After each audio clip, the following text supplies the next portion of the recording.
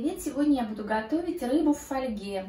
У меня треска, 750 грамм трески понадобится, растительное масло, соль, перец, немного сока лимона, лук и чеснок и бумага.